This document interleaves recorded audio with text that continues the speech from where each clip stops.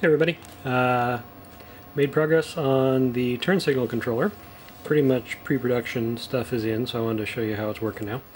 Uh, Atom Dash here, obviously, and over off to the side, if you can see it, have our new uh, weather sealed IP54 momentary switch. And let me just show you quick how it functions. uh, same as before, quick click, gives a lane change. You can do that on either side. Uh, press and hold for a little longer. Toggles on the turn signal. You can cancel it by doing the switch again.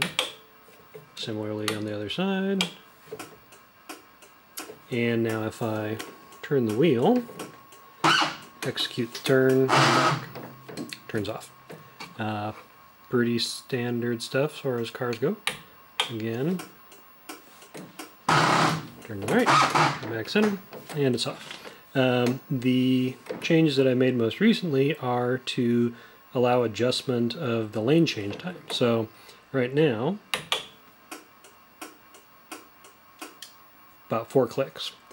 The switch is programmable, so if I press and hold to the right and let it go for about eight seconds, it enters a programming mode. So that's program mode now. Let go on the switch. And now if I push it to the left, it will record how long I do that and use that as the new lane change time.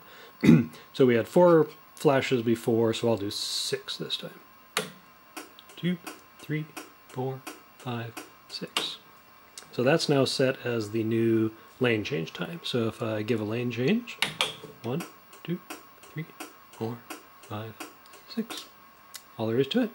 Um, you can also reset it to factory default by doing the same procedure and just pushing left for 8 seconds. Um, you can do it real short too, so if I go ahead and initiate the uh, program mode here again. If I just want to have a real quick one, two flashes, now two flashes. So I will move around to the side here and give you a look at under the dash. So this is still prototype circuit boards and uh, don't have the cover on the control box and everything. The wiring's obviously just hanging out, but uh, for starters, this is the controller. You can see the original switch uh, headers just plug in. The uh, three pin one is the new wire that goes off to the new switch. The four pins here go off to the sensor for the wheel and then power comes in on this. There's a plastic cover that goes over.